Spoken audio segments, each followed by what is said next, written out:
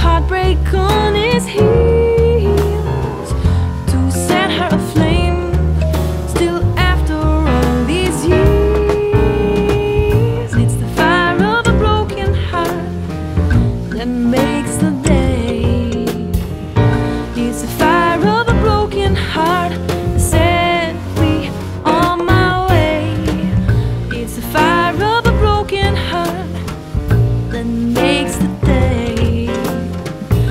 It's a fire of a broken heart.